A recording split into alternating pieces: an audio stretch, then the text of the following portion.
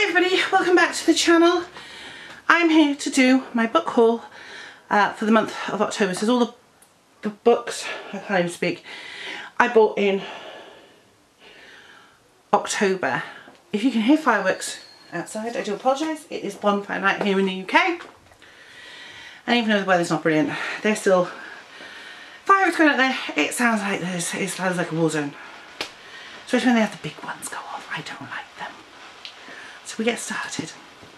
Okay, so one of the books I got this month, I've just spilled Coke everywhere and I've been trying to clear it up. Was Mortal Monarchs, A Thousand Years of Royal Deaths by Suzie Edge. So, see what I mean? Suzie Edge has TikTok channel where she talks about death and dying and her tagline is, shall we dig up another body? um, and it's very good. So basically, how the monarchs of England and Scotland met their deaths has been a wonderful mixture of violence, disease, overindulgence and occasional regicide. In Mortal Monarchs, medical historian Dr Suzie Edge examines a thousand years of royal deaths to uncover the plots, accusations, rivalries and ever-present threat of poison that the kings and queens of old faced. From the bloody fascination, sorry, from the bloody fascinating story behind the treatment of Oliver Cromwell's corpse, and whether the arrow that struck William II was an accident or murder, to Henry IV's remarkable skin condition and the red-hot poker up Edward II's rear end. Mortal Monarchs captivates, grosses out and informs. The tales we tell about our leaders' demise are never just a story. They are symbolic and reflect how the ruler, their morals and their reign were to be remembered by the nation. And as such, these stories tell us as much about the times in which these monarchs lived. This history forms a rich record not just of how these rulers died, but how we thought about their reign and treated the human body in life and death. Anything like that is going to really appeal to me. And it's, it's history, it's death, it's quite gruesome in places. It looks good. I'm not a big fireworks fan, I'm going to say that. Then next I got a book um, for my Marilyn collection which was called Hello Norma Jean by Sue Dolares. It's a novel um, and tagline is What if she came back? Nice picture from Some Like It Hot on the cover. And it's the last day of July 1999 and a few days before her 37th birthday, Kate Davis has a near-death experience. And a guide back to life and recovery is Marilyn Monroe, who prefers to be called Norma Jean. Sorry, it's the wrong way around, I need a drink. During the next few days, an extraordinary relationship develops between Kate and Norma Jean, which transforms and heals them both. But every relationship has its risks and every act its unintended consequences. Norma Jean's well-meaning efforts to help launch Kate on her new career path go terribly wrong, exposing Kate and her family to new life-threatening dangers. There's a bonus section called a retrospective on the life, loves and death of Marilyn Monroe as well. So yeah, so that's one of the Marin collection that I will be reading at some point in the near future. Uh, my mum got a book from the charity shop, it was 50p, called A Snapshot of Murder. It's a Kate Shackleton mystery by Frances Brody. I like these, I love the cover. I wish it was in better condition because I'd keep it probably if I enjoyed it, but it's not good enough to keep. A Famous Village in the Moors. Yorkshire 1928, an indomitable sleuth, Kate Shackleton, is taking a well-deserved break from her detective work and indulging in her other passion, photography. When her local photographic society proposes an outing, Kate jumps at the chance to visit Haworth and Stanbury in the heart of Bronte country, the setting for Wuthering Heights. A murdered photographer but when an obnoxious member of their party is killed, the group is thrown into disarray. Is the murderer among them, or did the loudmouth Tobias have more enemies than they might have imagined? I might have to read this one this month. It's a mystery that only Kate can solve, and armed with her wit and wiles, and of course her trusty camera, sounds like my kind of gal. It's up to Kate to crack the case and get that perfect shot too. Uh, yeah, I'm going to read this. I might have to collect these and get better copies if I enjoy that one. One I found on a shelf downstairs that isn't on my TBR list, but or wasn't on my TBR list, but is now, is another one that I picked up in the charity shops for my mum, and it is Bad Heir Day by Wendy Holden.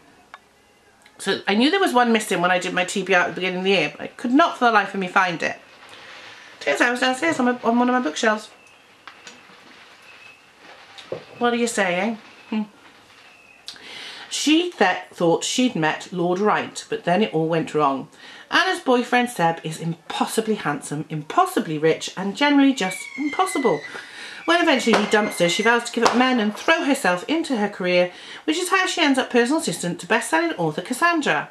The social climber from hell, Cassandra has a huge house in Kensington, a philandering, philandering rock-star husband, and the spawn of Satan for a son. So when desperate to escape, Anna meets dashing Jamie, a charming heir to a castle in Scotland, she can't believe her luck and probably shouldn't. Obviously a romance rom-com thing. Big historical novel made into a film. Everybody loves it. Philippa Gregory's The Other Boleyn Girl. I have not read this. My mum got it from the charity shop or from one of the neighbours because they do a bit of a book swap down there. Love it. Um, and now it's headed my way. Uh, two sisters competing for the greatest prize, the love of a king. Hmm. I wouldn't want the love of that king. a rich and compelling novel of love, sex, ambition and intrigue. The other Boleyn, can't be that much sex because my mum wouldn't have enjoyed it introduces a woman of extraordinary determination and desire who lived at the heart of the most glamorous court in Europe and survived by following her heart. When Mary Boleyn comes to court as an innocent girl of 14, she catches the eye of Henry VIII. Dazzled Mary falls in love with both her golden prince and her growing role as unofficial queen. However, she soon realises just how much she is a pawn in her family's ambitious plot as the king's interest begins to wane and she is forced to step aside for her best friend and rival, her sister Anne. Then Mary knows that she must defy her family and her king and take her fate into her own hands. So I know people love this. I've not read it, but it is now on the TBR. I bought a couple of Christmas ones because it is a Christmas order from the works. Um, stuff for Jennifer. And I bought a few books for myself.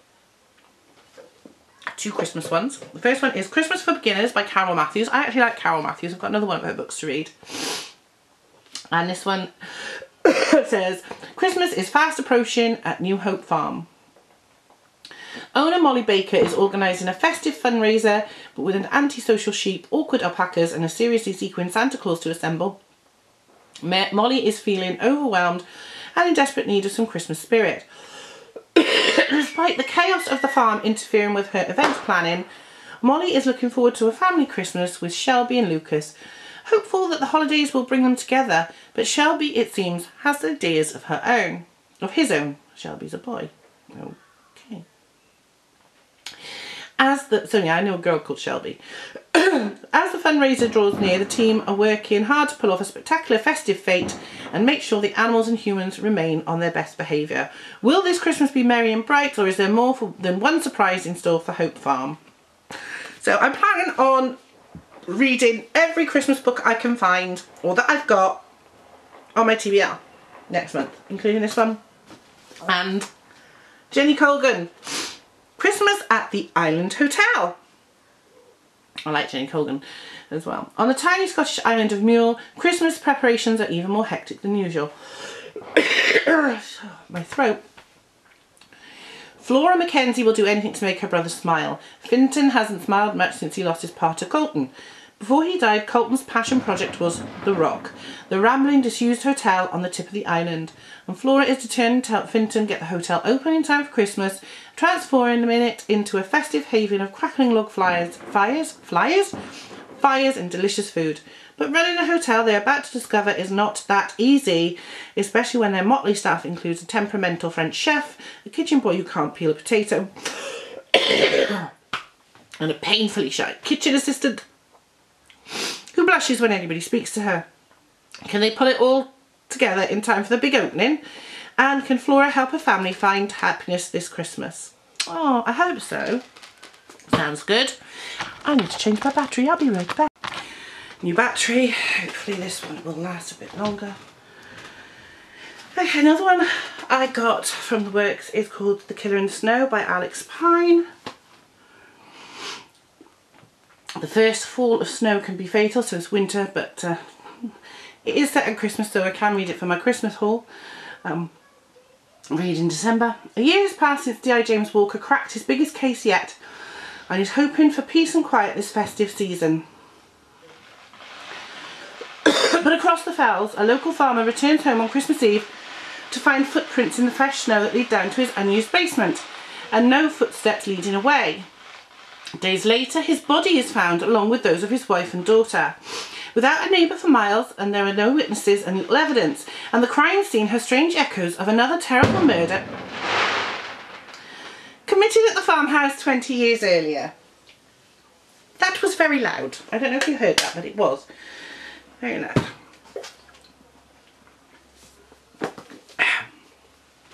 I got this one. This is called Her Husband's Grave. This was literally £1.50 at the work on the works sale. So I thought I'll pick it up. I had looked at it previously. I thought I'd bought it, but I haven't. I just looked at it. A hint of gold glistened in the sand. It was a watch. No doubt about it. A watch attached to a body. Criminal psychologist Robin Adams is at breaking point after a previous case resulted in an attempt on her own life. But in the car about to head home, her phone rings. It's Robin's estranged cousin, Vicky Carter. Vicky's husband Simon has been found buried on Golden Sands Beach. Desperate to help, Robin returns to the coastal village of their childhood. Robin knows that she's failed Vicky in the past and is set on making amends. Throwing herself into the case, she's intent on helping the police. But there is clearly someone who wants Robin gone. She is convinced someone is watching her and when she begins receiving threatening notes, Robin knows she could be risking her life. But Robin won't leave again. She owes it to Vicky to stay. So that sounds really good. I'm actually going to close the window. I have the window open because I can't see if the window's closed. So that sounds like a really good one. Not too chunky either. So let me just put those three Christmassy ones away, ready.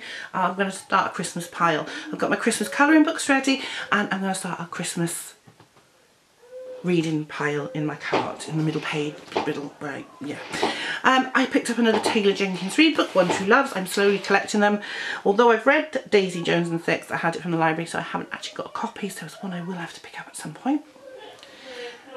Oh dear, sounds like there's uh, something going on downstairs. I think that perhaps everyone has a moment that splits their life in two, and I'm certain that this is my moment. High school sweethearts Emma and Jessie moved far away from home together, travelling the world, chasing every adventure, building a life of their own. 364 days after their wedding, Jessie is on a helicopter that goes missing mid-flight. Suddenly, he is gone. Years later, Emma is back in her hometown. She's grieved. She's learned to live again. She's fallen in love. At a family dinner one autumn evening, she receives a phone call from Jessie. With a fiance and a husband, heartbreak lies ahead. But is there such a thing as one true love? I really love Taylor Jenkins Reid. I love her writing style. I fell in love with Evelyn Hugo and this sounds really right up my alley. This sounds really good. I do apologise. Next I got Peter May The Night Gate. This is a Enzo McLeod story. This is number seven. Um, so this one says, in a sleepy French village, the body of a man shot through the head is disinterred by the roots of a fallen tree and a week later a famous art critic is viciously murdered in a nearby house. The deaths occurred more than 70 years apart. Two extraordinary narratives are set in train. One historical unfolding in the treacherous wartime years of occupied France and the other contemporary set in the autumn of 2020 as France re-enters COVID lockdown. And Enzo's investigation reveal an unexpected link between the murders, the Mona Lisa. So we read the first six, which were all linked by um, this bloke's book. They were the seven unsolved murders um, of France that really Enzo said he could um, um, solve. So this is a seventh book, but it doesn't, it's, it's not the seventh case. Um, which in a way is a shame because that would have been interesting. I would have liked to have known what happened, uh, who murdered Rafine's first wife. At least, you know, because, you know, pretty sure she wasn't as old as to be murdered in the 1940s. But still, I like Peter May, I like the Enzo McLeod series, so pick that one up. In Waterstones picking up my classic, I picked up two Stephen Kings. And the last two Stephen Kings for this year's um, challenge, which is Stephen King 12 and 21, as along with the classics 12 and, sorry, 12 and 22, as well as the classics 12 and 22. Next year I'll be changing the challenges and I'll tell you about that when I do a reading um, plan for 2023. Um, and I'm going to have three challenges. But they're not going to be too difficult. Two of them are going to be very simple anyway. So, I'll do the one I'm doing for November 1st. they're both chunkers as well, which obviously Stephen King's It. As you can see, I've started reading this because we are in November. Not very far through it. It's very hard to read this in bed, which is where I do a lot of my reading. but Stephen King. It is the children who see and feel what makes the small town of Derry so horribly different. In the store drains, in the sewers, it lurks, taking on the shape of every nightmare, each one's deepest dread. Sometimes it reaches up, seizing, tearing, killing. Time passes and the children grow up, move away and forget, until they are called back once more to confront it, as it stirs and coils in the sullen depths of their memories, reaching up again to make their past nightmares a terrible present reality. Now I read this years ago, I saw the original um, film version or TV miniseries which was the one starring Tim Curry. I haven't seen the remake mainly because I'm a huge Tim Curry fan and I don't think anybody's ever going to be as good as Tim Curry at playing anything. It's like it's like saying somebody's better at him at playing Frank-N-Furter. It's just not going to happen. Um, so if I was going to watch it, I would be watching the Tim Curry version. Maybe one day I'll watch it, but mm, yes. And for December, I picked up Sleeping Beauties, which was Stephen King writing with his son Owen King. Again, it's another fairly big one. I have heard good things about this though. As soon as Fairy Tale comes out in paperback, I will be getting that because um, I do like the way these paperbacks sit on the shelves downstairs. They look so nice. Doesn't make me look as intelligent as say my classics collection which is hidden upstairs in the bedroom. If I was a real show off I'd be putting them down, never mind, downstairs and these ones hiding up the bedroom. But I love Stephen King, so. At this hour, we're continuing to follow a breaking story. Medical officials are reporting the outbreak of what some are calling Australian fainting flu. Around the world, something strange has happened to women. They are falling victim to a sleeping virus, which shrouds them in a cocoon-like gauze. If woken, the gauze is disturbed. If the, if the gauze is disturbed, the women become rabid or rabid.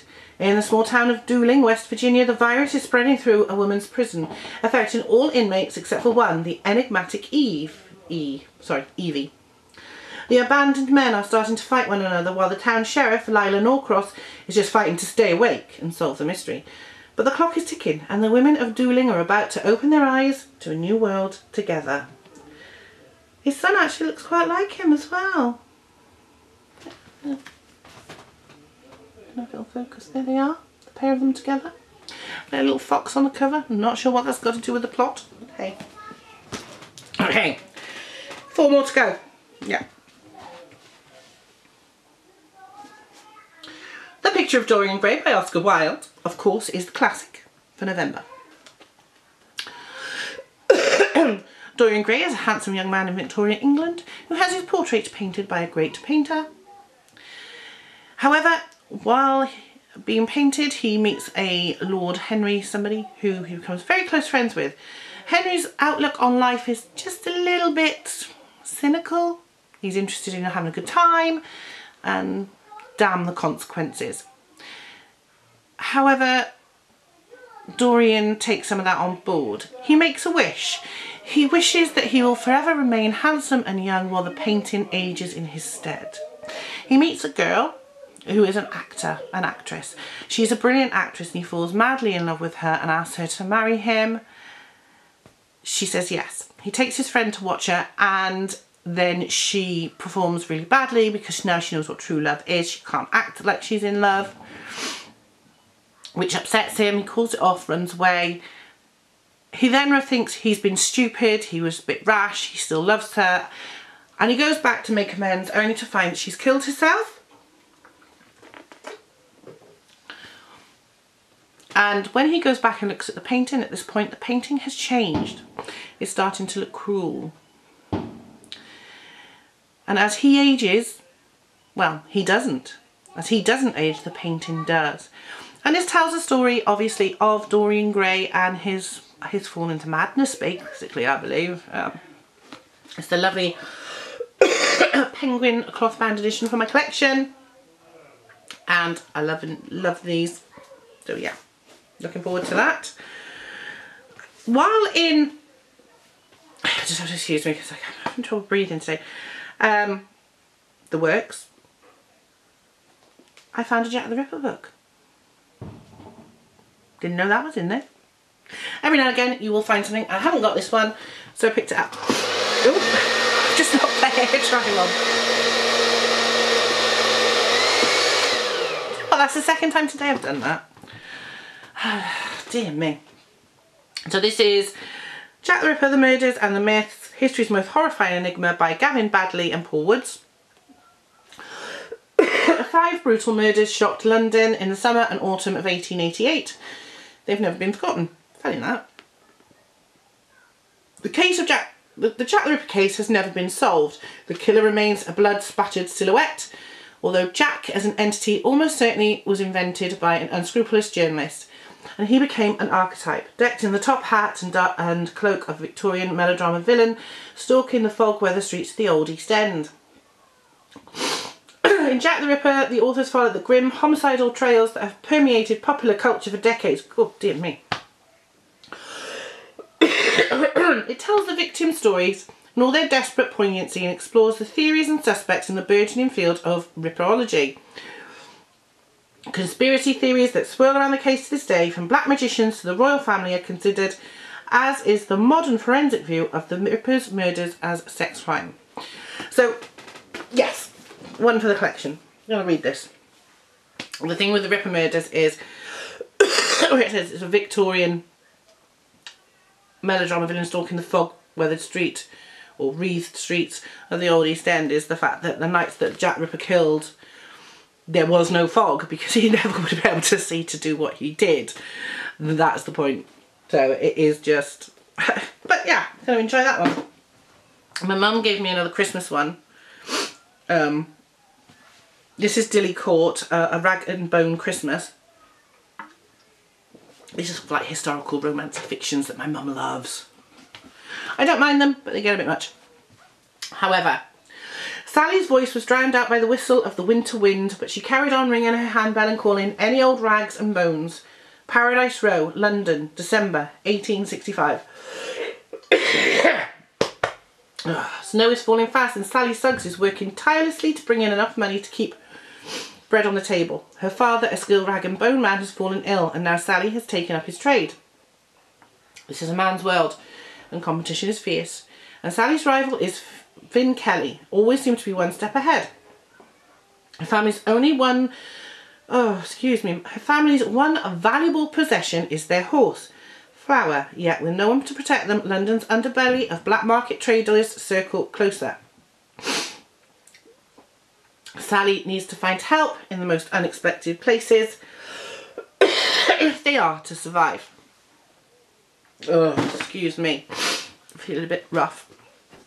Uh, my friend Julie gave me a book and this is called What She Does Next Will Astound You. It's by James Goss.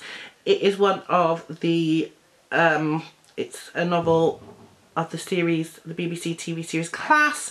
Class is itself is a spin-off of Doctor Who. The series was created by Patrick Ness, so that's that's got everything going for it for a start. We want your stunts, your dares, your whatevs. There's only one rule, there's no such thing as oversharing. At Coal Hill School, that takes it back to 1963. the very first episode was set in Coal Hill School. Things have started to get public. Kids have become obsessed with a website that demands you perform risky stunts.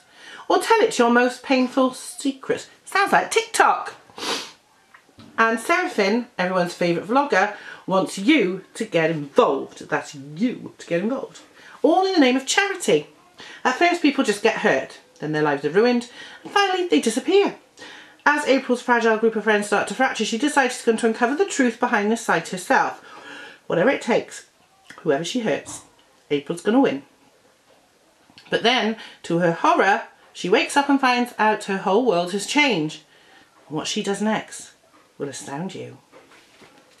Sounds interesting. Thanks, Jules. So I assume this is either a middle grade or YA. I never actually watched class, but I am interested in reading the book.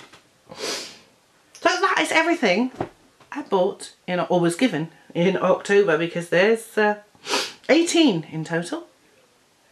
So I hope you've enjoyed this video. What books are you looking forward to reading? What should I be reading next? Obviously the Christmas ones, the full Christmas ones are going for December. Other than Stephen King, which I will obviously be reading in December because as part of my challenge. December's going to be mostly Christmassy, holiday themed stuff. I've got quite a few of them, I've been saving them. Some of them are short stories, some of them are long, there's murders and all sorts. But what one should I read next? Let me know down in the comments below if you've read any and what one you would like me to read first. And I will see you in the next video. Bye people.